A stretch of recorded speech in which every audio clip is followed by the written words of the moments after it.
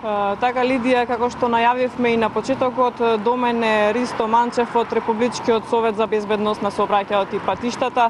Тие издадоа прирачник, прирачник во кој дечињата треба да, да научат како да се однесуваат во сообраќајот. Колку овој прирачник може да помогне да се сменат навиките? Во рамките на кампањата за поголема безбедност на децата во сообраќајот, Републичкиот совет за безбедност на сообраќајот на патиштата изготви водич со најважните правила и прописи, совети кои сите деца треба да ги знаат и да ги преминуваат во сообраќајот, а на кои што треба да ги научат нивните родители.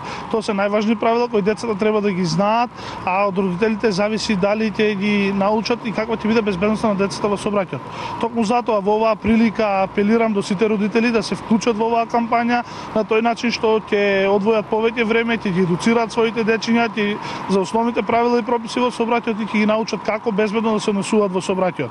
Едукацијата на децата е важна, меѓутоа ние како Републички совет повторно потенцираме возрастните возачите се тие кои треба да ги чуваат децата во сообраќајот.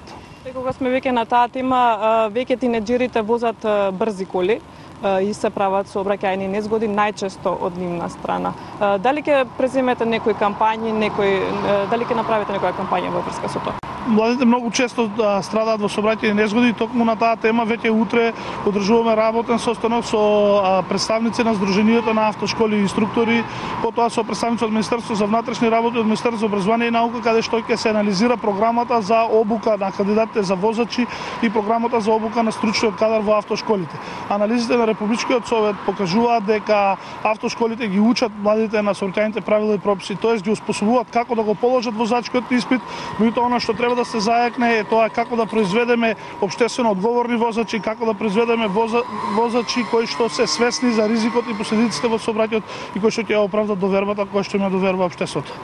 Во сообраќајот учествуваат не само возачите, туку и пешаците. Тие не често знаат да поминат и на црвено и на некоја недозволена позиција. Што ќе преземете во врска со ова? Една четвртина, за жал една четвртина од настраданите во сообраќајни незгоди се токму пешаците, а дури 60% од нив се лица на возраст од поголема поголемо од 60 години. А многу често ние реализираме кампањи кои се наменети токму кон оваа група учесници во сообраќајот и во таа насока ќе продолжиме да десуваме и во иднина. Најважно е пешаците да сватат дека и тие се активни учесници во сообраќајот, дека за нив постојат строго пропишани правила и прописи кои мора секогаш да ги почитуваат. Така ви благодарам за гостувањето во Дневникот. Едноставно мора да ги смениме навиките и сите да бидеме поодговорни во сообраќајот Лидија.